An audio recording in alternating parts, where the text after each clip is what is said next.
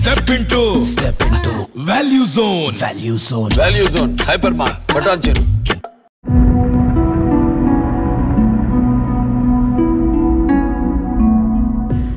చాలా ప్రయారిటీ చాలా ఇంపార్టెన్స్ మీకు జగన్ గారు ఇస్తున్నారు. ఎందుకో తెలుసుకోవచ్చా? అందుకే అంత ఇంపార్టెన్సా మీకు? అంతే కదా మేడం. అంటే మనము ఆడుదాం ఆంధ్ర?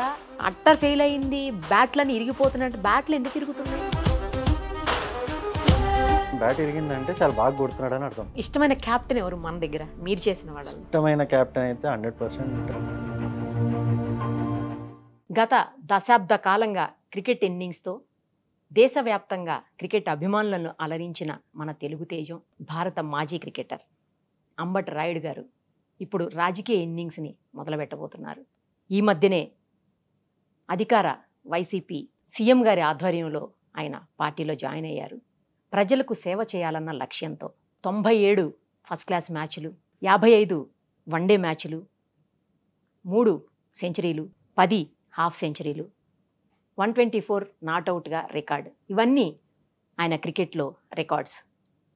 ఇప్పుడు బ్యాట్ పక్కన పెట్టి పొలిటికల్ జెండాని పట్టుకుంటున్నారు. అయితే ఈ మధ్యనే మనకు తెలుసు వైసీపీలో జాయిన్ అయ్యారు అది కూడా సీఎం గారి సమక్షంలో. కానీ ఇక్కడ జాయిన్ అయిన తర్వాత ఆయన కేవలం స్టార్ క్యాంపెయినర్గా ఉంటారా? లేక ఎన్నికల బరిలో దిగుతారా?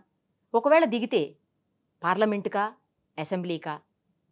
అసలు ఎక్కడి నుంచి తన పొలిటికల్ ఇన్నింగ్స్ స్టార్ట్ చేయబోతున్నారు? ఇవన్నీ ఆయన మాటల్లోనే ఇప్పుడు తెలుసుకుందాం. నమస్తే అండి. రాయుడు గారు. చాలా హ్యాపీగా ఉంది మిమ్మల్ని ఇక్కడ చూడడం. ఒకప్పుడు క్రికెట్ స్క్రీన్ మీద చూసేవాళ్ళం మిమ్మల్ని క్రికెట్ కోసం. ఇప్పుడు మా ఎదురుగుండా ఒక పొలిటికల్ లీడర్గా ఎంట్రీ ఇచ్చారు. ఇది కొంచెం డిఫరెంట్ సబ్జెక్ట్ చెప్పాలంటే. రాజకీయాలు వేరు ఆటలు వేరు క్రీడలు వేరు. ఆ జీవితం వేరు ఈ జీవితం వేరు. ఎలా బ్యాలెన్స్ చేయబోతున్నారు? ఇంకా అంటే వదిలేసినట్టేనా పూర్తిగా?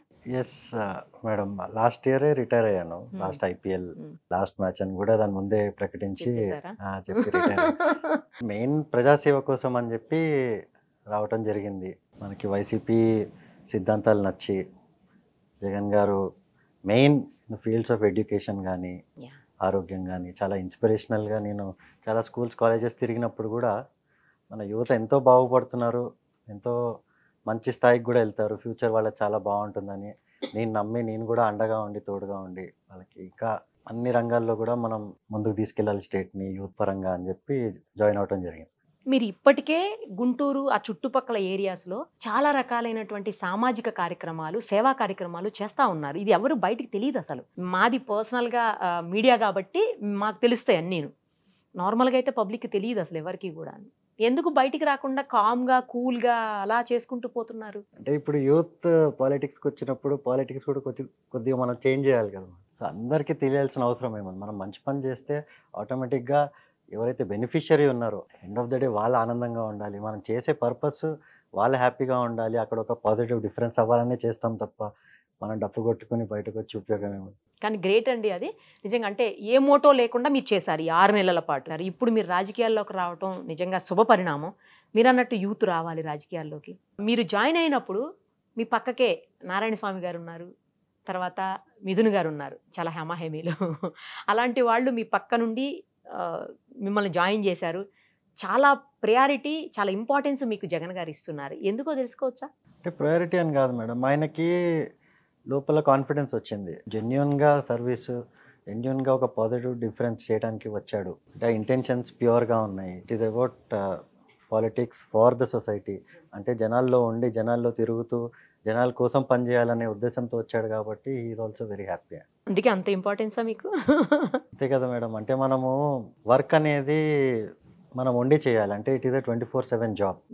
Politics ఎందుకంటే జనాల లైఫ్స్ దే ఆర్ ఫ్యూచర్ వాళ్ళు ఎన్నో ఆలోచించి మన రెస్పాన్సిబిలిటీ మన చేతుల్లో పెడతారు. So that is an added huge responsibility ఇది తప్ప ఇంకా వేరే ఏమి ఫోకస్ లేకుండా మనము చేయాలి మేడం. వాళ్ళు అంటే that is what even people expect కదా. మీరు ఐపీఎల్లో అక్కడ ధోని గారు మీకు క్రికెట్ క్యాప్టెను ఇక్కడ పొలిటికల్గా ఈయన క్రికెట్ క్యాప్టెను వీళ్ళిద్దరి మధ్యన డిఫరెన్స్ చెప్పండి. ఈ ఇద్దరు క్యాప్టెన్ల మధ్య? అంటే డిఫరెన్స్ వాళ్ళల్లో అంటే మెయిన్ ప్రెషర్ సిచ్యువేషన్స్లో చాలా కామ్గా ఉంటారు. ఎన్ని అంటే సెట్ బ్యాక్స్ వచ్చినా కూడా గట్టిగా నిలబడి మంచి పాజిటివ్ కాన్ఫిడెన్స్తో ముందుకెళ్తారు. ఇక యాజ్ యూజువల్ నేను I always been a team player madam so మనం టీం. కోసం టీం గెలవడం కోసము మనం డెఫినెట్గా I always give my best కాబట్టి ఈవెన్ దిస్ ఇన్నింగ్స్లో కూడా ఐ గివ్ మై బెస్ట్ నేను అడిగింది మీ గురించి కాదు. వాళ్ళిద్దరికి డిఫరెన్స్ చెప్పమని అడిగా. ఆ captain కి ఈ captain Chennai super king captain కి తర్వాత ఇప్పుడు మీ పొలిటికల్ పార్టీ క్యాప్టెన్ జగన్ గారికి అక్కడ ధోని గారు ఇక్కడ జగన్ గారు వీళ్ళిద్దరు డిఫరెన్స్ చెప్పమన్నా? డిఫరెన్స్ ఏం లేదు మేడం సిమిలారిటీస్ చాలా ఉన్నాయి. అవునా? అంటే ఇద్దరు visionaries so they have a very long term vision ఇప్పుడు జగన్ గారు కూడా మనకు సంక్షేమ పథకాలు అన్నీ పెట్టినవి కూడా it is because of long term poverty elimination కోసమే. అది ఈరోజు ఏదో మనము వాళ్ళ అకౌంట్లో డబ్బులు వేస్తున్నాము అంటే దాని అర్థం ఏంటి? వాళ్ళ చదువు కోసం వేస్తున్నాము వాళ్ళ ఇల్లు గడవటం కోసం వేస్తున్నాము వాళ్ళ ఫ్యామిలీ హ్యాపీగా ఉంటాం. అంటే వాళ్ళ పిల్లలందరూ కూడా నెక్స్ట్ జనరేషన్ వచ్చే వాళ్ళు మంచి స్థాయికి వెళ్ళి సో అప్పుడు ఇంకా వాళ్ళకి అవసరం ఏముంటుంది? సంక్షేమ పథకాలు. అదే కాకుండా డెవలప్మెంట్ కూడా ఇప్పుడు సర్వ్ చేస్తున్నాయి ఎన్నో కాలేజెస్ వస్తున్నాయి ఇండస్ట్రీస్ వస్తున్నాయి రకరకాలు మనకు వస్తున్నాయి పోర్ట్స్ వస్తున్నాయి. కొద్దిగా ఓపిక బట్టి టైం బట్టి ఆయన విజన్ కూడా లాంగ్ టర్మ్ కాబట్టే is doing all that short term vision ఉంటే ఈ రోజు ఏదో మ్యాజిక్ ఏదో చేసి ఓట్ కోసం కాదు కదా. Is actually genuinely believing that these all these things that he's doing ఇవన్నీ కూడా మనకి లాంగ్ టర్మ్ వెళ్ళి మన స్టేట్ వాళ్ళందరూ కూడా మంచి ఫ్యూచర్ ఉంటుందని. ఈవెన్ ధోని కూడా అట్లానే కదా మేడం. ఈ he's built Indian team he's built CSK with a long term vision ప్లేయర్స్ని తీసుకురావటం గ్రూమ్ చేయటము. So it's lot of similarities differences అంత లేవు కానీ సిమిలారిటీస్. సిమిలారిటీస్ ఎక్కువ ఉన్నాయి. ఏ క్యాప్టెన్ ఇష్టం ఇద్దర్లో? మేడం ఇద్దరు ఇష్టము. సో ఇద్దరి దగ్గర నేను సోవీనియర్స్ తీసుకున్నాను. సో ఆయన దగ్గర కూడా I taken an autograph for me even Jagan side దగ్గర కూడా కండువా కప్పినట్టు I taken his autograph on that so for for memory so it start of a good journey అంటే జర్నీ ఇంటూ పబ్లిక్ సర్వీస్ కాబట్టి. So is my captain so I'll be. I'll be helping him out in whatever capacity ఇప్పుడు మీ captain గుంటూరులో మీకోసం ఎలాంటి ఫీల్డ్ని ready చేయబోతున్నారు?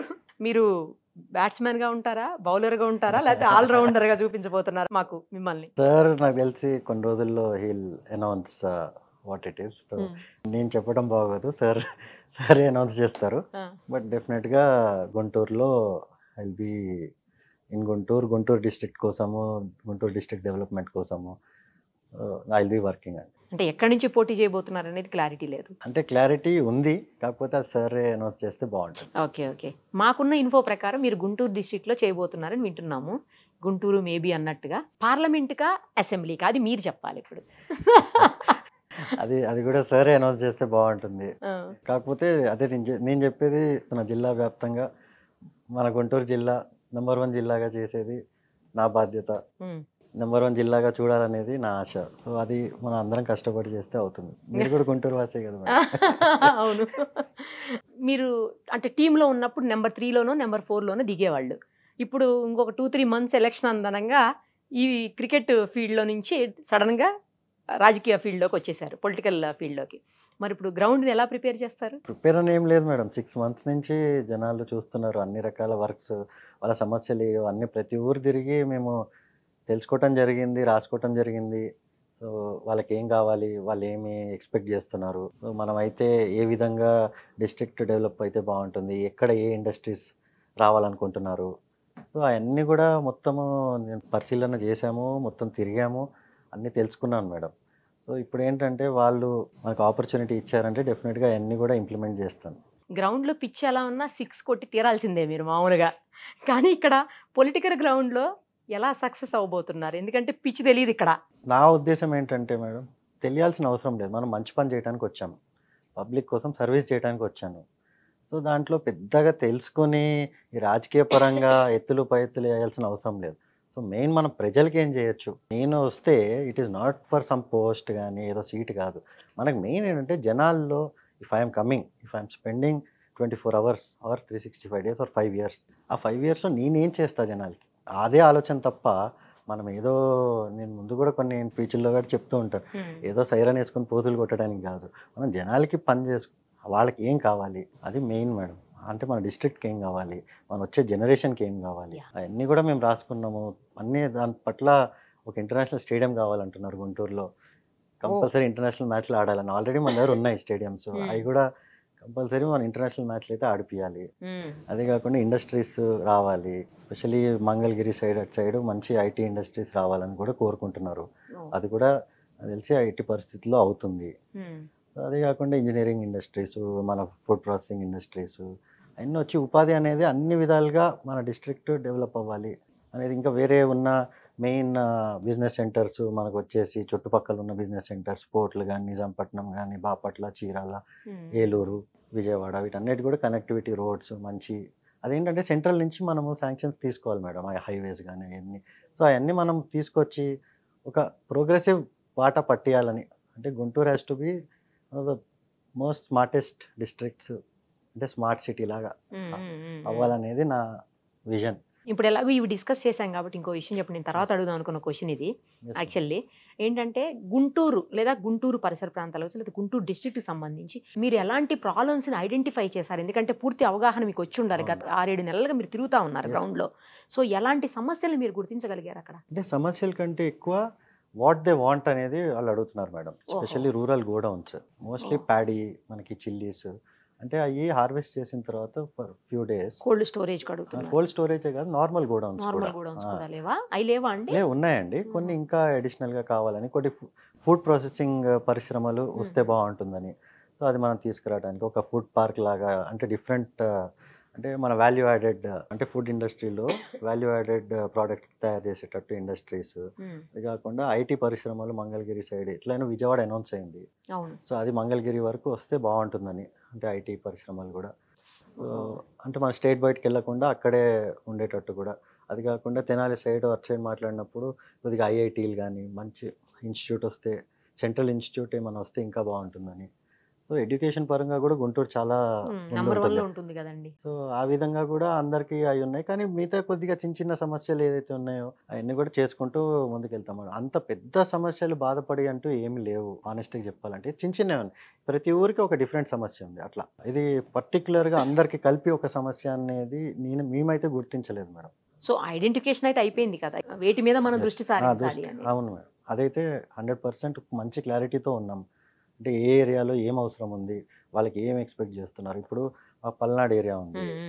పల్నాడు ఏరియాలో కొద్దిగా వాటర్ ఇష్యూస్ అయి ఉన్నాయి. ఏది.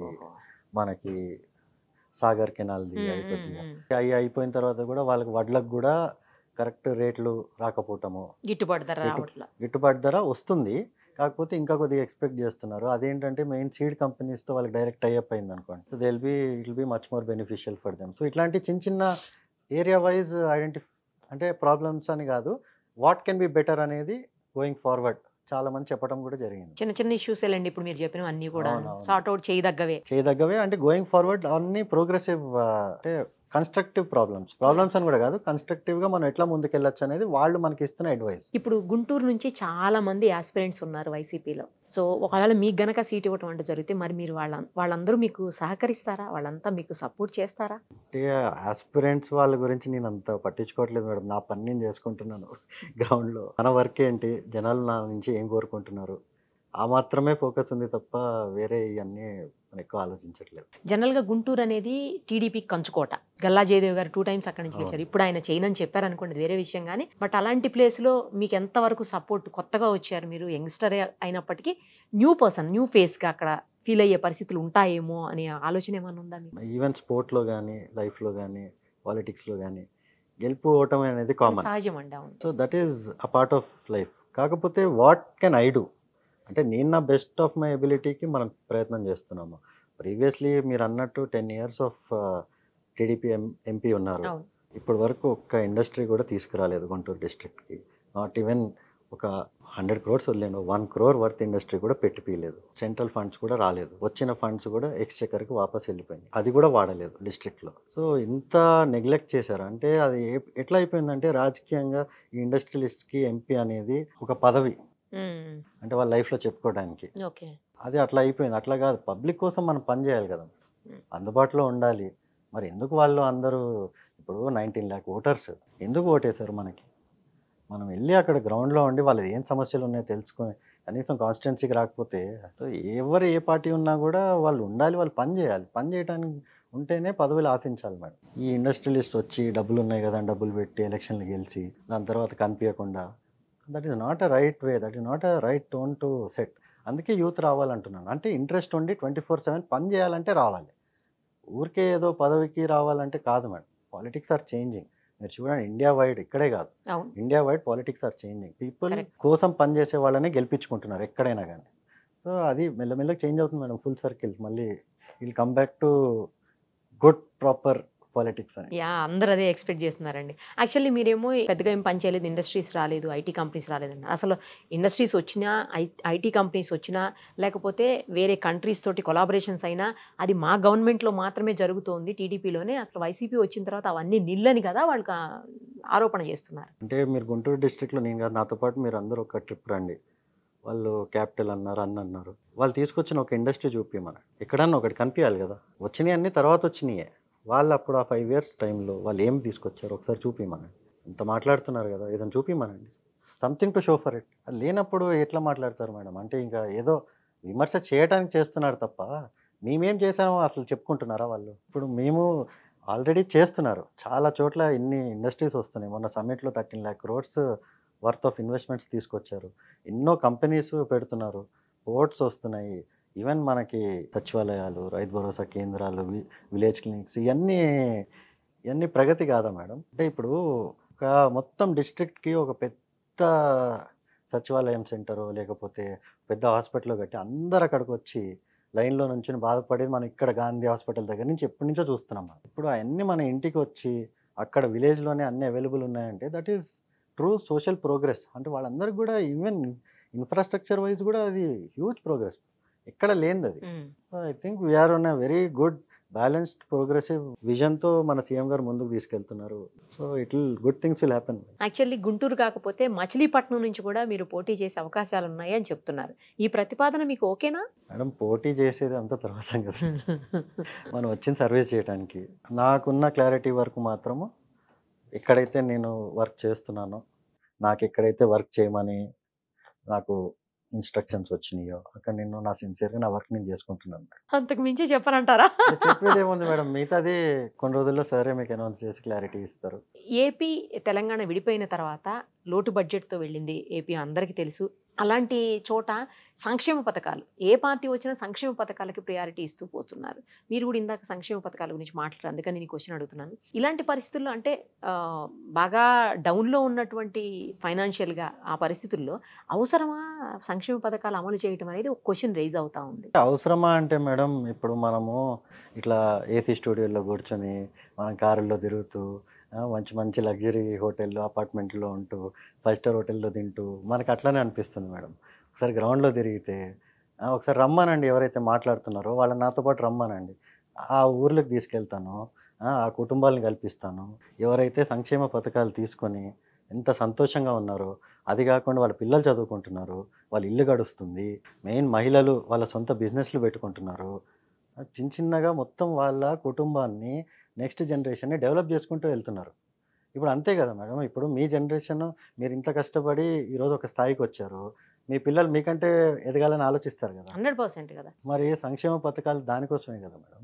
వాళ్ళ లైఫ్లో వాళ్ళ నెక్స్ట్ జనరేషన్ వాళ్ళకంటే ఇంకో మంచి స్థాయికి వెళ్ళాలి. వాళ్ళ కోసం ప్రపంచం అంతా డోర్స్ ఓపెన్ అవ్వాలి. ఇప్పుడు ఇంగ్లీష్ మీడియం స్కూల్స్లో చదువుకుంటుంటే పిల్లలు వాళ్ళు ఎక్కడైనా వరల్డ్లో వెళ్ళి వాళ్ళ డిగ్రీలు చేసుకోవచ్చు పీజీలు చేసుకోవచ్చు జాబ్స్ ఎక్కడైనా సంపాదించవచ్చు అదే ఇప్పుడు ఒక లేబరర్ కొడుకో ఒక కాబ్లర్ కొడుకో ఇంటర్నేషనల్ స్థాయికి వెళ్ళి పీజీలు ఇంటర్నేషనల్ కాలేజీల్లో యూనివర్సిటీల్లో పీజీలు చేస్తే అది అంటే సంక్షేమ పథకాలు లేకపోతే వాళ్ళకి ఇప్పుడు పాసిబులా మీరు చెప్పండి. అట్లాంటి ఎన్నో ఫ్యామిలీ లక్షల ఫ్యామిలీలు నేను చూపిస్తాను నాతో పాటు రమ్మని అంటే అభివృద్ధి అనేది అసలు వదిలేసి అది కుంటుపడి అది అభివృద్ధి కాదా మేడం? సంక్షేమ పథకాల మీద దృష్టి పెట్టారు. దీనివల్ల రాష్ట్రం మొత్తం భ్రష్టు పట్టిపోతుంది సర్వనాశనం అయిపోతుంది అంటున్నారు. అభివృద్ధి కాదా మేడం? అంటే రాష్ట్రంలో జనాభా వాళ్ళ కుటుంబము యువత ఫ్యూచర్ అంటే వాళ్ళ ఫ్యూచర్.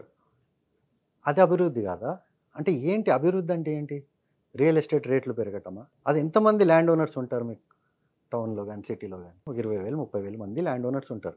అంటే వాళ్ళ ల్యాండ్ రేట్లు పెరగాలి. అంటే మిగతా వాళ్ళందరూ వాళ్ళ ఇళ్ళలోకి వచ్చి పనిచేయాలి వాళ్ళ వాళ్ళు దొరల్లాగా ఉండాలి. అంటే ఇప్పుడు ఏంటి? వాళ్ళ బాధ అంతా ఏంటంటే వాళ్ళ ఇళ్ళలో పనిచేయడానికి జనాలు దొరకట్లా. ఎందుకంటే ఎవరికి వాళ్ళు ప్రగతి బాట పట్టుకుని వాళ్ళ లైఫ్లో ఎదగడానికి ముందుకెళ్తున్నారు. అది నచ్చక ఏడుపు తప్ప ఇంకేం లేదు మేడం. మీరు ఒక్కసారి గ్రౌండ్లో అదే చెప్తున్నా కదా మాట్లాడే వాళ్ళందరినీ నాతో పాటు రమ్మనండి గ్రౌండ్లో. వచ్చి- వచ్చి కలవమనండి జనాల్ని చెప్తారు వాళ్ళే. వాళ్ళు హ్యాపీగా ఉన్నారంటారు ప్రజలైతే. ఉన్నారు madam.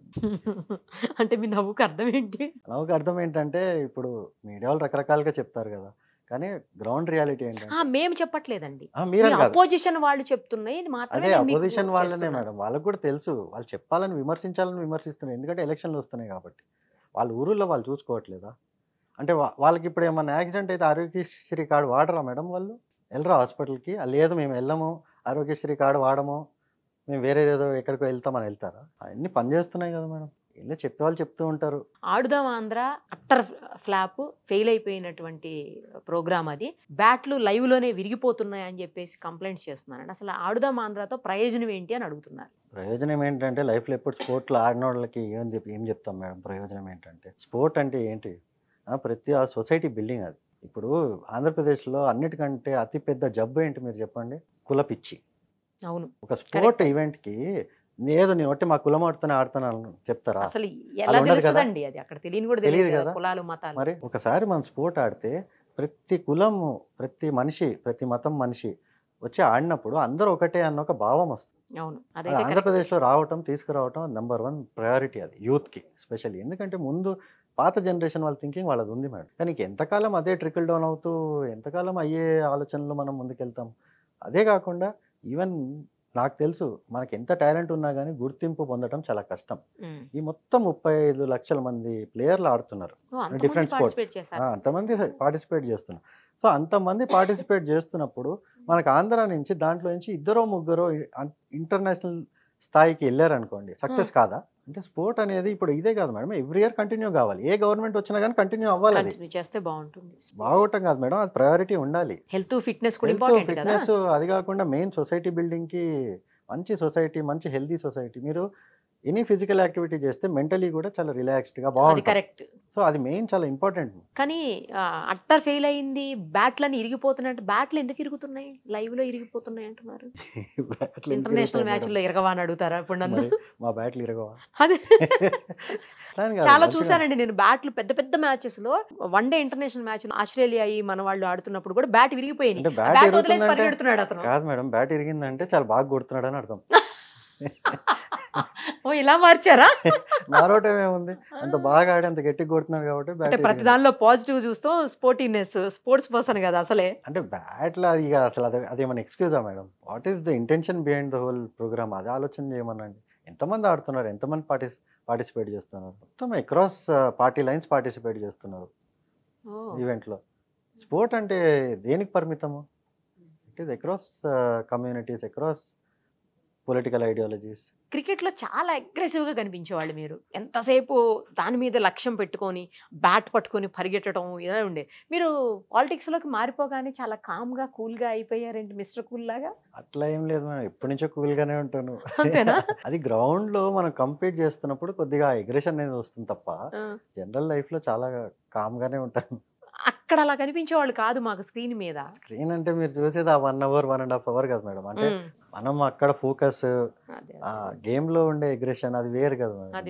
That does not carry over into normal life normal life కానీ ఇప్పుడు మీరు నార్మల్ పర్సన్ కాదు కదా పాలిటీషియన్ ఇప్పుడు మీరు. పొలిటీషియన్ అనకండి అనకండి పబ్లిక్ సర్వెంట్ అనండి public serve this is public service okay.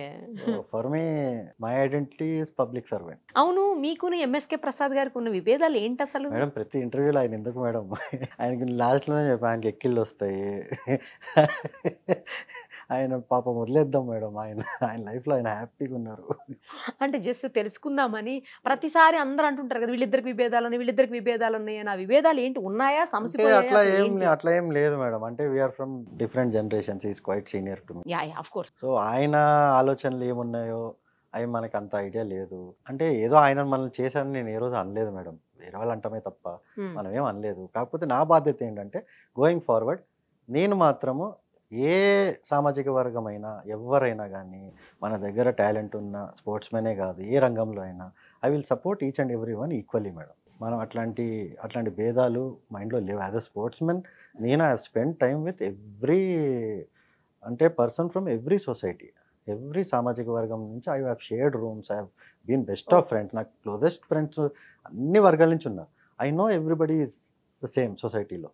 So నాకు ఎప్పుడు ఆ భేదం ఉండదు. అంటే I will never carry that చుట్టుపక్కల సొసైటీని మొత్తాన్ని నేను మార్చలేను. బట్ ఇండివిజువలీ మీ ఐ నేను అందరిని ఈక్వల్గానే ట్రీట్ చేస్తాను. దట్ ఈస్ అంటే మై పొలిటికల్ ఐడియాలజీ మీకు ఇష్టమైన క్రికెటర్ ఎవరు? ఇష్టమైన క్రికెటర్లు అంటే growing up Sachin Tendulkar VVS Laxman so దాని తర్వాత ఎక్కువ నేను టైం స్పెండ్ చేసిన ధోని. అంటే ఇన్స్పిరేషనల్గా వెరీ గుడ్ పర్సన్ ఇష్టమైన క్రికెటర్లో మన క్రికెటర్స్ వదిలేస్తే బయట దేశాలకు సంబంధించిన క్రికెటర్ అంటే ఎవరు? బయట దేశాలకు సంబంధించిన క్రికెటర్లు అంటే ఒట్టి క్రికెట్ పరంగా అయితే బ్రయన్ లారా. ఇంకా వేరే ఉన్నారు. అంటే ఆడిన వాళ్ళు ఫ్రెండ్స్ అయితే చాలా మంది ఉన్నారు ఐపీఎల్లో అట్లా మేము ఆడాము ఎగేన్స్ట్ ఆడిన వాళ్ళు కూడా మంచి. కానీ బట్ టాలెంట్ వైజ్ చూసి ఎంజాయ్ చేసింది అయితే బ్రయన్ లారా. ఇష్టమైన క్యాప్టెన్ ఎవరు మన దగ్గర? మీరు చేసిన వాళ్ళలో? ఇష్టమైన కెప్టెన్ అయితే హండ్రెడ్ పర్సెంట్ ధోని గారు. అంతే. ధోని గారి గురించి అందరూ బాగా చెప్తారండి చాలా. ఎందుకని? అందరూ బాగా చెప్ చాలా పాజిటివ్గా చెప్తారు అసలు. పాజిటివ్ అంటే is very very simple madam అంటే ఆయనను చూసి అందరం కూడా నేర్చుకుంది అట్లీస్ట్ మా జనరేషన్ మ్మ్. నేర్చుకుంది ఏంటంటే money and success should not determine the way you behave off the field అంటే మన లైఫ్లో కూడా. మనము మనం ఎట్లా ఉన్నామో మనం క్రికెట్ ఆడకముందు ఎట్లా ఉన్నామో ఫ్యామిలీతో ఎట్లా ఉన్నామో. బయట ఎట్లా ఉన్నామో అప్పుడు ఆ same thing should continue for the rest of our life so that is the simplicity factor that he he's taught all of us growing up. So అది ఒక గ్రేటెస్ట్ ఇన్స్పిరేషన్ మేడం మా అందరికీ. ఇష్టమైన బౌలర్ ఎవరో చెప్పండి బ్యాట్స్మెన్ అడగను ఎందుకంటే మీరు బ్యాట్స్మెన్ అడిగితే మళ్ళీ ఖచ్చితంగా సచిన్ టెండూల్కర్ గారి పేరే చెప్తారు. ఎందుకంటే ఇందాక అడిగేసాను ఆల్రెడీ ఇష్టమైన బౌలర్ బుమ్రా. ఇప్పుడు ప్రజెంట్. సూపర్ ఇప్పుడు ఇష్టమైన క్రికెటర్ అన్నా కూడా బూమ్రాయేనా ఇష్టమైన క్రికెటర్ ఇప్పుడు అంటే అంటే ఇప్పుడు మీరు వచ్చేసాక బయటకు వచ్చేసాక. బయటకు వచ్చేసరికి యంగ్స్టర్స్ ఇప్పుడు చాలా మంది ఉన్నారు మేము ఋతురాజ్ గైక్వాడ్. మన తిలక్ వర్మ. సో మన సిరాజ్. వెరీ వెరీ అంటే అప్కమింగ్ వాళ్ళని చూస్తుంటే ఎంతో హ్యాపీనెస్ ఉంటుంది. So these youngsters coming up from specially Tilak Siraj. Hyderabad నుంచి వస్తూ మన తెలుగు స్టేట్ నుంచి. చాలా కాదు inspirational value yes of course ఎందుకంటే మనము వాళ్ళకు కూడా ఇప్పుడు నెక్స్ట్ జనరేషన్ వాళ్ళకి గ్రోయింగ్ అప్ వాళ్ళని చూసి పైకి ఇప్పుడు మేము ఎట్లా వివిఎస్ లక్ష్మణ్ని చూసి వెంకటపతిరాజు గారిని చూసి మనం కూడా చాలా సీనియర్స్ సీనియర్స్ కాకపోతే మనం చూసాం కదా ఇండియా ఆడటానికి ఓకే ఇట్లా ప్రాక్టీస్ చేయాలి ఇట్లా మనం కూడా ఆడొచ్చు అని ఒక కాన్ఫిడెన్స్ వస్తుంది. ఎవ్రీ జనరేషన్కి మనకు అట్లా ప్లేయర్స్ వస్తూ ఉంటే అవును. నెక్స్ట్ జనరేషన్కి ఇంకా ఇన్స్పిరేషన్ ఇన్స్పిరేషన్ మంచి ఇన్స్పిరేషన్ అవును. ఇప్పుడు వెళ్తుంటారా ఎప్పుడైనా సరదాగా క్రికెట్ కోసం? బయట చూడడానికి అంటే అంత టైం లేకుండా అసలు అదే కదా ఇందాక చెప్పాను మనం టోటల్ ఫోకస్. అంటే ఎప్పుడన్నా ఎంతైనా మీ ప్యాషన్ కదా అది. మీకు ఇష్టమైన కెరియర్ కదా ఫస్ట్లో యాక్చువల్లీ దీని ముందు కూడా చాలా టోర్నమెంట్స్ వెళ్ళాలి నేను? ఓవర్సీస్ ఈ లీగ్స్ ఈ టీ టెన్ అని ఐఎల్ టీ ట్వంటీ అని చాలా రకాలు ఉన్నాయి. అన్ని కూడా క్యాన్సిల్ చేసుకున్నాం మేడం. సో ఎందుకంటే ఒక్కసారి మనం దీనిపైన ఫోకస్ పెట్టినప్పుడు it should not waver. Complete focus అంటే కొంచెం మైండ్ రిలాక్సేషన్కి అప్పుడప్పుడు లైఫ్ అంతా ప్రెషర్లో ఆడాము. అది అది రిలాక్సేషన్ ఎట్లా అవుతుంది? మీరు ఆడరు కదా ఇప్పుడు? ఇప్పుడు చూస్తారు ఆడేవాళ్ళకి ఎక్కువ ప్రెషర్ ఉంటుంది మనకంటే. అవునా. కాదా? చూసే వాళ్ళకి ఎక్కువ ప్రెషర్. అంతేనా? ఏమైపోతుందో ఏమైపోతుందో అని. ఎందుకంటే కంట్రోల్లో ఉన్నాం కదా చూస్తుంటే మ్యాచ్. ఆడుతుంటే అట్లీస్ట్ మాకు తెలుసు ఓకే ఈ బాల్ ఇట్లా కొట్టచ్చు లేకపోతే మనకి ఇంకా టైం ఉంది. అని ప్లాన్ చేసుకోవచ్చు. చూస్తుంటే మనం ఏం చేస్తాం మరి? ఆడేటప్పుడు బాగా టఫెస్ట్ బాల్ని ఎప్పుడు ఫేస్ చేశారు? తిట్టుకున్నారా ఎప్పుడన్నా బౌలర్ని అట్లా తిట్టుకోవటం అని ఉండదు మేడం. బట్ యా టఫెస్ట్ అంటే చాలా చాలా మ్యాచెస్లో నాట్ అన్ ఈజీ థింగ్ కదా. Lot of tough phases tough bowlers specially అంటే బాగా గుర్తుండిపోయే టఫెస్ట్ బౌలర్ అంటే ఆఫ్ లేట్ అంటే ఫ్యూ ఇయర్స్ కొద్దిగా Bumrah was very very tough మిగతా వాళ్ళు ఓకే మేడం. అంతగాని Bumrah was I think the toughest మన వాళ్ళల్లో. మన వాళ్ళని కదా ఐపీఎల్లో ఆడిన ఐపీఎల్లో నేను అడుగుతుంది ఇంటర్నేషనల్ మ్యాచ్లో. ఇంటర్నేషనల్లో మనకి టఫెస్ట్ అంటే మేబీ ట్రెండ్ బోల్ట్ మొన్న కూడా ఆడాడు కదా. ఎలా ఉంటారండి? అంటే మీరంతా బయటగా ఒక రకంగా కనిపిస్తారు అంత మంచి టీం వర్క్తో. బట్ బ్యాక్గ్రౌండ్లో మీరంతా కలిసి ఉన్నప్పుడు భలే సరదాగా సాంగ్స్ ప్లే చేసుకుంటూ వాటికి డాన్స్లు వేస్తూ కొట్టుకుంటూ కూల్ డ్రింక్ బాటిల్స్ మీద వేసుకుంటూ ఇవన్నీ కొన్ని కేకులు మొహానికి పూసుకుంటూ ఇలాంటివన్నీ కొన్ని బయటకు వస్తూ ఉంటాయి పిక్స్ వీడియోస్. నిజంగా అలా ఉంటుందా లోపల? అట్లనే ఉంటుంది మేడం ఇప్పుడు కొత్తగా వచ్చే జనరేషన్ మరి ఇంకా ఎక్కువ చేస్తున్నారు. అవునా? వాళ్ళ కొద్దిగా ఇన్స్టాగ్రామ్ ఇవన్నీ పిచ్చి బాగుంది. అవునవును. వాళ్ళందరూ కాదు మా కొద్దిగా మా జనరేషన్ వాళ్ళు కొద్దిగా రిజర్వ్డే ఉంటాము. కాకపోతే వెరీ వెరీ ఫ్రెండ్లీ అంటే చాలా రిలాక్స్డ్ అట్మాస్ఫియర్ ఉంటుంది. అంటే very nice atmosphere madam. Dressing rooms అన్ని కూడా. ఇండియన్ టీమ్ కానీ సిఎస్కే కానీ very very good atmosphere so ఇప్పుడు వచ్చే కుర్రోలు ఇంకొద్దిగా వాళ్ళు. వాళ్ళ క్రికెటర్స్ నుంచి కొద్దిగా మూవీ స్టార్స్ కూడా ప్రోగ్రామ్లో ఉన్నట్టున్నారు. సో అవన్నీ మా వరకు అయితే అవన్నీ లేవు.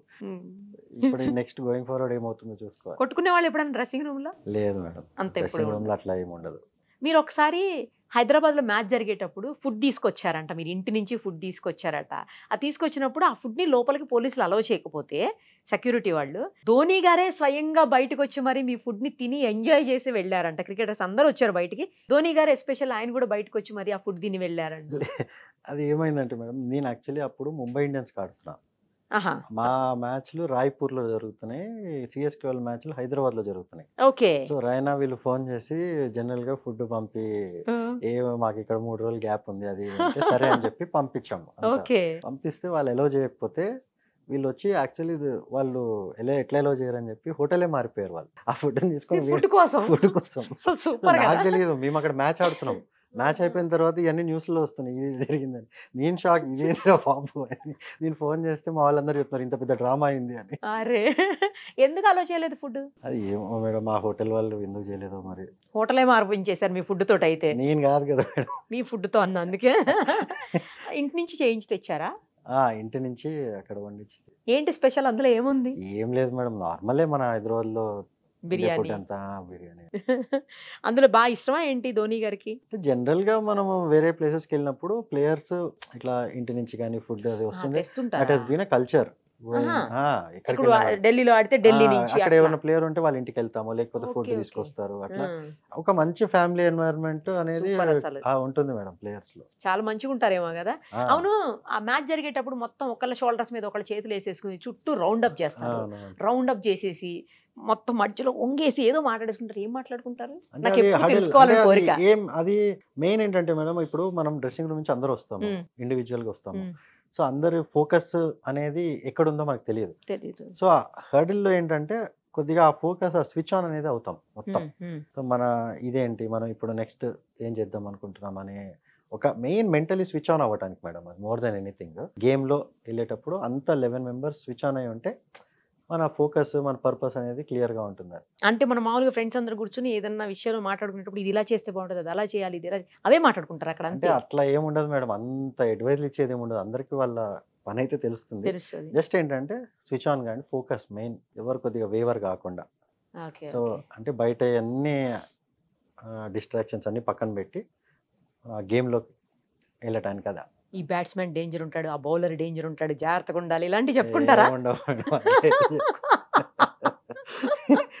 మీరు మరీ క్రికెట్ని బిగ్ బాస్ షో చేస్తున్నారు మీరు. అట్లా లేదు. ఏం ఉండదు మేడం. చాలా కానీ అంతసేపు ఏం మాట్లాడుంటారు? మొత్తం అందరు షోల్డర్స్ మీద చేతులు వేసేసి కింద అంత ఏదో సేపు ఏం ఉండదు చెప్పేసుకుంటూ మేడం. ఉంటారు. ఎంత? టెన్ ఫిఫ్టీన్ సెకండ్స్ ఉంటుంది అంతే. టెన్ ఫిఫ్టీన్ సెకండ్స్లో కూడా ఏం మాట్లాడుకుంటారు అనేది ఇప్పుడు పెద్ద క్వశ్చన్ అందరికి. అదే ఏం ఉండదు మేడం. ఇప్పుడు వెళ్తున్నాం అనుకోండి. ఓకే. సరే మనం అందరం కొద్దిగా ఫోకస్ చేద్దాం. Energy energy intensity. ఫీల్డింగ్ మనము ఫీల్డింగ్ అంతా కొంచెం కేర్ఫుల్గా గా. ఉండాలి. కేర్ఫుల్ అంటే main energy madam energy intensity effort ప్రాపర్గా ఇద్దాం అట్లా. ఒక మ్యాచ్ అయిపోయాక నెక్స్ట్ మ్యాచ్ స్టార్ట్ అవడానికి ఒక హాఫ్ అన్ అవర్ అట్లా టైం ఉంటుంది కదా ఇంటర్నేషనల్ మ్యాచెస్లో. అఫ్ కోర్స్ ఐపీఎల్ ఉంటుంది అంత టైం ఉండదు. అది ఇన్నింగ్ మధ్యలో. ఇన్నింగ్ మధ్యలో ఒకదానికి ఒకదానికి మధ్యలో. అప్పుడు మీరు కొంతమంది ఫుడ్ తీసుకుంటారు కొంతమంది అసలు ఓన్లీ జస్ట్ Hmm. లిక్విడ్స్ తీసుకుంటారు. నిజమేనా అది అట్లా మేడం. అంటే ఎవరి కెపాసిటీ ఎవరి బాడీ వాళ్ళకి తెలుసు మేడం. అంటే Hmm. ఆప్టిమం మనకి ఫిజికల్ కెపాసిటీ వాళ్ళకి ఒక రొటీన్ అనేది ఫామ్ అయి ఉంటుంది over period of many years. So అది ఎవరి వాళ్ళది ఇండివిజువల్గా the take care of it. కొన్నిసార్లు ఇంటర్నేషనల్ మ్యాచెస్లో చూస్తున్నప్పుడు గొడవలు పడుతుంటారు మన వాళ్ళు వాళ్ళు తిట్టడం వాళ్ళు ఏవో సైకిల్ చేయటము బ్యాట్ పెట్టి చూపించడం ఇట్లా చాలా సార్లు. మన కోహ్లీ గారు అయితే ఎక్కువ సార్లు అవుతుంటాయి ఆయన ఉన్నప్పుడు అయితే అని చాలా అగ్రెసివ్ ఉంటారా? అంత అట్లా ఏం లేదు మేడం. అంత అంటే గ్రౌండ్ లేదు కొద్దిగా అట్లా ఉంటారు కానీ బయట అట్లా ఏం ఉండదు. అక్కడేనండి మ్యాచ్ దగ్గర మ్యాచ్ దగ్గర అట్లా ఏం ఉండదు madam. It is just that ఆ కొద్దిగా ఇంటెన్సిటీ అంటే మనం కంపీట్ చేస్తున్నాం కదా ఆబ్వియస్లీ ఆ బాడీ లాంగ్వేజ్ అనేది కొద్దిగా aggressive గా కొంతమందికి అట్లా ఇష్టం కొంతమంది కామ్గా వేరే వాడు ఏమన్నా కూడా మనం రియాక్ట్ కాకుండా అట్లా కూడా ఉండటం చాలా మంది ఉంటారు. అంటే వాళ్ళ బెస్ట్ ఎట్లా వస్తుంది బయట కానీ ఇప్పుడు కోహ్లీకి ఏంటంటే అగ్రెసివ్గా లేకపోతే బెస్ట్ రాదు. సో మెయిన్ తన బెస్ట్ బయటికి తీసుకురావడానికి తను కొద్దిగా అట్లా పంప్ డబ్బు ఉంటాడు. ఇప్పుడు ధోని గారు ఉన్నారు అనుకోండి ఆయన ఎంత కామ్గా ఉంటే అంత. అంత ఆయన బెస్ట్ బయటకు వస్తుంది అట్లా. ఎవ్రీ ప్లేయర్కి డిఫరెంట్ ఇది ఉంటుంది అక్కడ అంపైర్లు ఎందుకండి అసలు నోరే మీద పరు వాళ్ళకి ఇన్స్ట్రక్షన్స్? ఉంటాయా? అంటే అంపైర్లు అంటే బేసికలీ ఇట్లాంటి cricket traditional is gentlemen's game madam. Umpires general game మాట్లాడరు. అట్లా అన్లెస్ మనము ఏమన్నా అక్కడ ప్రాబ్లం లేకపోతే మనం. అడిగితే అంతే తప్ప umpire generally don't interfere that much. అంటే ఇవన్నీ ఇంటర్నేషనల్ మ్యాచెస్లో చూస్తాం కదా చిన్న చిన్న డౌట్లు అనమాట అవన్నీ క్లారిఫై చేశారు ఇప్పుడు. తర్వాత ఇప్పుడు పొలిటికల్కి వస్తే మీకు బాగా ఇష్టమైనటువంటి పొలిటికల్ లీడరు నాకు అన్ని చోట్ల చెప్పండి. సెంట్రల్లో ఎవరో చెప్పండి. తెలంగాణలో ఎవరో చెప్పండి. అలాగే ఆంధ్రాలో ఎవరో చెప్పండి. మెయిన్ మా ఫ్యామిలీలో మేము మా ఫాదర్ మాకు చెప్పింది అదంతా వైఎస్ఆర్ గారి గురించి మేడం. నాన్నగారు ఏం చేసేవాళ్ళండి? Father was a government employee madam state ఆర్కైవ్స్లో. Still working లేదండి ఇప్పుడు రిటైర్ అయిపోయారు కాకపోతే ఆయన ఆయన చేసే మంచి పనులు అవన్నీ మాకు చెప్తూ చెప్తూ I grown up listening to all that ఇప్పుడు మనకి అంటే very very ఇన్స్పిరేషనల్గా Jagan garu what is doing I seen first hand. So ఎవరో నాకు ఏదో చెప్పి నా మైండ్ ఏదో మార్చి నా బిలీఫ్ మార్చాలంటే అది జరగదు మేడం. ఎందుకంటే ఐ సీన్ గ్రౌండ్లో. ఆ రిజల్ట్స్ నేను చూశాను కాబట్టి వేరే వాళ్ళు నాకు ఏది చెప్పినా కానీ నేను మారను. I I I stand by him. And I stand by him not because of anything it because of I believe in his vision for the state. It has got nothing to do with politics. I believe in in his vision for the state. State ముందుకు ten years down the line. ఇప్పుడు మన కూర్చుని మాట్లాడే వాళ్ళందరూ కూడా ten years down the line. ఆయన చేసిన మంచి పనులు ఏం జరిగినాయి అనేది అప్పుడు గుర్తుపెట్టుకుంటారు. అప్పుడు అందరికీ తెలుస్తాయి కళ్ళు తెరుచుకుంటాయి. మీరు చూడండి. So I know I know what path he's taking and I totally support him in that vision ఆంధ్రాలో చెప్పారు తెలంగాణలో చెప్పారు. తెలంగాణలో డెఫినెట్గా ఐ లవ్డ్ మన కాళేశ్వరం ప్రాజెక్ట్ ఎందుకంటే మా సిద్దిపేటలో నా సొంత భూమి. మాకు చెట్లకి నీళ్ళు ఇవ్వడానికి కూడా నీళ్ళు ఉండేవి కాదు. Within a matter of two years it has completely transform so I I really like the way ఆయన మొత్తం ఎట్లయితే తెలంగాణ డెవలప్మెంట్ జరిగిందో ఆ విధంగా I truly admired his work సెంట్రల్లో ఆ టైంలో పాత టైంలో అంటే I use to really like Vajpayee garu. Because even being from BJP you're such a secular person use to talk the truth out చాలా సార్లు use to criticise his own party people ఏదైనా తప్పు జరిగిందా? ఏమైనా. చేసినా? సో ఈ was the first person మీకు remember if you remember or not I don't know ఒక రూపాయి ఇండియాలో ఖర్చు పెడితే ఒక మనిషికి పది పైసలు వెళ్ళేదంట. అట్లాంటి స్టేజ్ నుంచి ఈరోజు జగన్మోహన్ రెడ్డి గారు రూపాయి రూపాయి ఖర్చు పెడితే రూపాయి వెళ్తుంది. మన India గవర్నెన్స్లో that is the biggest success victory అవన్నీ అంటే ఎప్పటి నుంచో పాలిటిక్స్ ఫాలో అవుతూ ఫాలో అవుతూ I studied all these governments నేను చూశాను.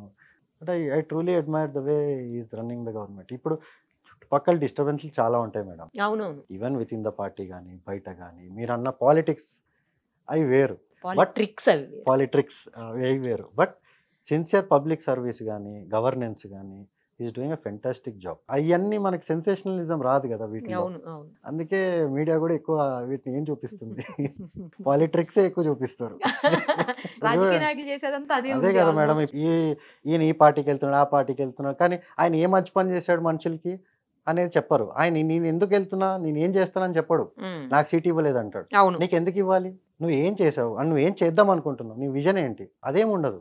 ఒక అవకాశం ఇచ్చినప్పుడు మంచిగా యూస్ చేసుకుంటే మళ్ళీ ఇంకో అవకాశం అసలు అవకాశం అని కాదు. మన పని ఏంటి? ఇప్పుడు ఈ రోజు నేనున్నా. రేపు ఇంకొకళ్ళు ఉన్నా కానీ అదే పని చేయాలి కదా. అవును కంటిన్యూ చేయాలి. కంటిన్యూ చేయాలి. పబ్లిక్ అనే పబ్లిక్కి హెల్ప్ చేయాలి మనం. డెవలప్మెంట్ ఆగద్దు. ఆగద్దు. పబ్లిక్ సర్వీస్ ఇప్పుడు ఎప్పుడు మన సీట్లు మనము మన ఇది అని. అవును మీది నేటివ్ ఎక్కడండి అసలు? ఇటు సిద్దిపేటనా గుంటూరా? గుంటూరు మేడం. ఫాదర్ది వెల్లలూరు మదర్ది ఫిరంగపురం ఇది ఇక్కడంటే మనం ల్యాండ్ కొనుక్కున్నాం అంతేనా? ఎప్పుడు ఇక్కడ ఉండలేదు హైదరాబాద్లో అండి హైదరాబాద్లో ఉన్నాను స్టడీస్ అని? ఫాదర్. ఇక్కడే తార్నాకలో చేసేవాళ్ళు. జాబ్ చేసేవాళ్ళు కాబట్టి I was here in Hyderabad. I. Studied in Hyderabad. ఏ స్కూల్లో చదువుకున్నారు? భవన్స్ మేడం భారతీయ విద్యా భవన్. భారతీయ విద్యా భవన్స్లో ఇక్కడ చదివారా? కాదు సైనిక్పూర్. ఏదైనా కూడా భారతీయ విద్యా భవన్స్లో. చదివారు. సూపర్ అసలు. అక్కడి నుంచి స్టార్ట్ చేశారా ఆడటం? ఎస్ మేడం స్కూల్ లెవెల్లోనే. స్కూల్ కాదు ఇంకా అదే school. When I was eight years old అప్పటి నుంచి స్టార్ట్ చేశారు. First father- eight years father ఏ పట్టుకున్నారా బ్యాట్? ఎయిట్ ఇయర్స్కి ఫాదరే నన్ను కోచింగ్ క్యాంప్ తీసుకెళ్ళారు. ఆయన డ్రీమ్ నేను ఇండియాకి ఆడటం. సూపర్. తీర్చారు కదా ఆయన డ్రీమ్ టీచర్ అంటే ఆయనే కష్టపడ్డారు madam. He dedicated his entire life for me మరి జాబ్ ఎట్లా మేనేజ్ చేశారండి మొత్తం ఇక నాకు అందుకే మనకి పబ్లిక్ ది కష్టాలన్నీ తెలుసు మేడం. ఇప్పుడు ఎవరో ఒకరు చాలా మంది చాలా మాటలు చెప్తారు. బట్ ఐ నో ఒక ఫ్యామిలీకి ఏం అవసరం? ఒక ఫ్యామిలీ ఎదగాలంటే ఏం కావాలి? అనేది మాకు ఐడియా ఉంది. ఇప్పుడు ఇప్పుడు అదే చెప్తున్నా కదా. ఇప్పుడు రియల్ ఎస్టేట్ పెరగాలంటే ఈజీ. అవును. ఎంతమంది బాగుపడతారు? వంద మంది బాగుపడతారు వెయ్యి మంది బాగుపడతారు. అంతే. కరెక్ట్ అది. ఇది సమాజం మొత్తం బాగుపడుతుంది కదా. ఎంత ఏజ్లో ఫస్ట్ మ్యాచ్ ఇంటర్నేషనల్ ఆడారు అసలు? Twenty eight. Twenty eight. Twenty years. Twenty years తర్వాత ఆడారు. ఎవరండి కోచ్ మీకు? ఫస్ట్లో విజయ్ పాల్ సార్ ఇంకా నాగేష్ హేమంత్ సార్ అని ఇక్కడే మన జిమ్ఖానాలో ఉండే. నా జిమ్ఖానాలో ఆడేవాళ్ళ వెళ్ళి రోజు? ఎన్ని గంటలు ప్రాక్టీస్ చేసేవాళ్ళు? జిమ్ఖానాలో మార్నింగ్ మనకి ఫైవ్ ఓ క్లాక్ స్టార్ట్ అయ్యేది క్యాంప్. ఫైవ్ టు నైన్ ఉండేది. మళ్ళీ ఈవినింగ్ పూట ఇంటి- స్కూల్కి వెళ్ళేసి వచ్చి ఈవినింగ్ ఫాదరే మొత్తం ప్రాక్టీస్ చేయించేవాళ్ళు ఇంటి దగ్గరనే? ఇంటి దగ్గరే. అంటే ఫిట్నెస్ కానీ. ఈవెన్ టెన్నిస్ బాల్తో ఆడటం కానీ అన్ని అంటే డిఫరెంట్ ఆస్పెక్ట్స్. నాన్నగారు కూడా స్పోర్ట్స్ పర్సనా? అంటే ఆయనకు చాలా ఇంట్రెస్ట్ ఉండేది. ఆ టైంలోనే గుంటూరులో ఉన్నప్పుడు అప్పట్లో మెడ్రాస్కి వెళ్ళి టెస్ట్ మ్యాచ్లు చూడటము అవన్నీ కూడా చేసేవాళ్ళు. ఆయనకు కూడా క్రికెట్ ఆడాలని ఉండేది కానీ ఆ. టైంలో ఎక్కడ మేడం. ఇప్పుడు అందుకే కదా ఆడదాం ఆంధ్రాలో. ఎంతమందికి ఆపర్చునిటీ దొరకట్లేదు. ఇప్పుడు సిఎస్కే లాంటి ఫ్రాంచైజీ వచ్చి చూస్తుంది మ్యాచ్లు. ఎవరైనా యూనిక్ టాలెంట్ దొరికిద్దా? మరి యూనిక్ టాలెంట్ అనేది ఐడెంటిఫై చేయాలంటే మరి మ్యాచ్లు అయితే అవ్వాలి కదా మేడం. ఎగ్జాక్ట్లీ బ్యాట్లు ఇరిగిపోతే ఏమవుద్ది? బాగా కొట్టారని ఇందాక చెప్పారు మీరు. బాగా ఆడితేనే. బ్యాట్ ఇరుగుతుందని. ఆ పర్సన్గా టాలెంట్ ఉన్న వాళ్ళైతే బా అంటే బయటకు వస్తుంది కదా. మనకు ఒక్కళ్ళు వచ్చినా చాలు కదా మేడం. ఇప్పుడు మరి ఒక్కళ్ళు వచ్చినా చాలు. ఒక్క టాలెంటెడ్ పర్సన్కి దీంతో జస్టిస్ జరిగి తను ఒక ఇంటర్నేషనల్ ప్లేయర్ అయ్యాడు. చాలు. మరి ఇంకేం కావాలి? సక్సెసా కదా. దీనివల్ల ఎంతో మంది డెస్టినీస్ మంచిగా అవుతాయి మేడం. దీన్ని పొలిటికల్ చేయకుండా ఆనెస్ట్గా చెప్తున్నాను నేను. ఈ ఇయరే కాదు ఎవ్రీ ఇయర్ కంటిన్యూ చేయాలి దీన్ని. ఎవరు వచ్చినా ఏం చేసినా ఏం. జరిగినా కానీ ఇట్ షుడ్ బి కంటిన్యూ మీరు అవును మ్యాచ్ ఆడేటప్పుడు ఫస్ట్ ఎంత తీసుకున్నారు? అమౌంట్ ఎంత వచ్చింది గుర్తుందా? రంజీ ట్రోఫీకా? రంజీ ట్రోఫీకి ఫస్ట్ మాకు ఎంత మేడం? సిక్స్ హండ్రెడ్ రూపీస్ అనుకుంటా. అవునా? చాలా లెస్ అమౌంట్ ఇప్పుడు బాగుందిగా? ఇప్పుడు వేరు మేడం. అంటే అవన్నీ ఇట్ హెస్ చేంజ్డ్ అంటే we have seen cricket change international match ఎంత తీసుకున్నారు? ఇంటర్నేషనల్ మ్యాచ్కి ఫస్ట్ టూ ల్యాక్స్ అనుకుంటా. ఆ డేస్లో టూ ల్యాక్స్ అంటే ఎక్కువలేండి. ఏ ఇయర్ అది? లేదు madam two thousand thirteen థర్టీనా? Okay okay. మీరు అప్పట్లో టీఎస్కే కావచ్చు ముంబై ఇండియన్స్ ఎక్కడి నుంచి ఆడినా కూడా మీరు ఏ మ్యాచ్ ఆడితే ఎవరితో మ్యాచ్ ఆడితే ఆ వాళ్ళు వాళ్ళు గెలుస్తారనే ఒక పాజిటివ్ వైబ్స్ ఉండేవి. వాళ్ళే గెలిచేవాళ్ళు నిజంగా కూడా అది sentimental గా మీరు ఎక్కడుంటే అక్కడ? అంటే అట్లా లేదు అంటే మనం ఐపీఎల్ గెలిచాం ఆరు సార్లు. అదే. ఛాంపియన్స్ లీగ్ కూడా గెలిచాం టూ టైమ్స్ ఓకే. మీరు ఉన్నారు కదా వాటిల్లో? మరి అదే చెప్తున్నా. ఇప్పుడు అలా అలాగే అట్లానేం కాదు మేడం. అంటే బేసిక్గా ఇప్పుడు మీరు క్రికెట్ తీసుకుంటే లెవెన్ మెంబర్స్లో మీకు లెవెన్ టీమ్ మెన్ ఉన్నారు అనుకోండి అప్పుడు గెలుస్తాం. అంటే ఎవ్రీబడీస్ రోల్ ఈస్ డిఫరెంట్ మనం ఏంటంటే మీడియా వాళ్ళు ఎక్కువ స్టాట్స్ పైన కాన్సన్ట్రేట్ చేస్తారు. స్టాట్స్ ఎవరిది ఎక్కువ ఉంటాయి? టాప్ ఓపెనర్స్ ది వాళ్ళదే. మ్మ్, వాళ్ళకి ఎక్కువ కాకపోతే టీమ్ ఎన్వైరన్మెంట్ ఎట్లా ఉంటుందంటే ఈవెన్ మన వాళ్ళు ఎప్పుడైనా సిక్స్ సెవెన్ నంబర్ బ్యాటింగ్ ఆడి ఒక Hmm. ఫోర్ కొట్టినా కూడా that is as valuable as opener exactly fifty sixty కొడితే కూడా. సో అవన్నీ టీంలో అర్థమవుతాయి. కానీ మీడియాకి బయట వాళ్ళకి అర్థం కావు. బట్ ఆ టీమ్ ఎన్వైరన్మెంట్లో లెవెన్ టీమ్ మెన్ ఉంటే chances of success are great so even same thing in politics ఆ టీమ్ మెన్ ఉంటే వాళ్ళు ఇండివిజువల్ దాన్ని కొద్దిగా పక్కన పెట్టి ప్రజల కోసం సేవ చేసి మనం ఓకే మన ఆంధ్ర కోసం చేస్తున్నాం అంటే. ఆబ్వియస్లీ ఆ టీం గెలుస్తుంది. అంతే. అలాగే ఇప్పుడు మరి అక్కడ అలా గెలిపించేవాళ్ళు ఇప్పుడు అలాగే ట్వంటీ లో జగన్ గారి టీంని కూడా గెలిపించబోతున్నారా మీ లెగ్తో అంటే జగన్ గారి టీం అంటే ఇప్పుడు నా పని నేను చేస్తాను మేడం? వేరే వాళ్ళు కూడా వాళ్ళ పని వాళ్ళు చేస్తే డెఫినెట్గా గెలుస్తారు బాగా చెప్పారు. నా పని నేను చేస్తున్నా వాళ్ళు గెలి చేస్తే గెలుస్తారు అని. అంతే కదా మేడం నేను నా పని చేయగలను. వేరే వాళ్ళకి నేనేం చేయగలను? ఏం చదువుకున్నారండి మీరు? ఎవరు? నేనా మేడం. బీకామ్. బీకామ్. అందుకే బీకామా? బీకామ్. అవును బీకామ్ చదివారు. కాలేజ్కి స్కూల్కి రెగ్యులర్గా వెళ్ళేవాళ్ళ? ఎప్పుడు చూసినా ప్రాక్టీస్ మీదే దృష్టి ఉండేదా? ఎక్కువ క్రికెటే మేడం. పెద్దగా చదివేవాళ్ళు కాదా? చదవడానికి టైమే లేదు కదా. మేమంతా ఆ ఏజ్లో అసలు ఎక్కడ madam complete year round cricket ఆడేవాళ్ళం. సో కాలేజ్ కాలేజ్ టోర్నమెంట్స్ అయినా చాలా ఆడాము. కాకపోతే ఎక్కువ మా ఫోకస్ అంతా ఇక లైఫ్ లాంగ్ దీని మీద దీని మీదే క్లాస్లో ఏ ర్యాంక్స్లో ఉండేవాళ్ళు? స్కూల్లో అయితే? టాపర్ మేడం ఫిఫ్త్ వరకు సిక్స్త్ సెవెంత్ వరకు. సెవెంత్ వరకు టాపర్. ఆ. తర్వాత నుంచి ఇది డౌన్ అయ్యి అది పెరిగిందేమో ఇంకా కంప్లీట్. గా ఇది అయిపోయారు. బ్యాక్ సీట్ లా కాలేజ్లో కూడా మొన్న ఎంట్రన్స్ మొన్న తీసుకున్నాను. ఎంట్రన్స్ రాసారా లేదా ఎంట్రన్స్ కాదు. అడ్మిషన్ తీసుకున్నారా? అడ్మిషన్ తీసుకున్నాను.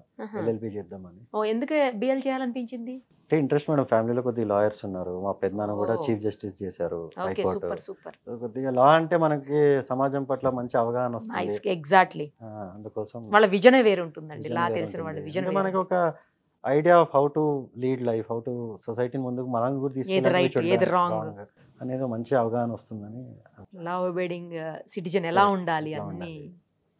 సూపర్ అండి. నైస్ టాకింగ్ టు యూ నాకైతే చాలా హ్యాపీగా ఉంది మిమ్మల్ని ఇక్కడ చూడటము మిమ్మల్ని గలవటము అంతా కూడాను. ఆ, చాలా విషయాలు షేర్ చేశారు. అటు కెరియర్కి సంబంధించి ఈ కెరియర్కి కొత్తగా స్టార్ట్ చేసిపోతున్న ఈ ఇన్నింగ్స్ కెరియర్కి సంబంధించి కూడా షేర్ చేశారు.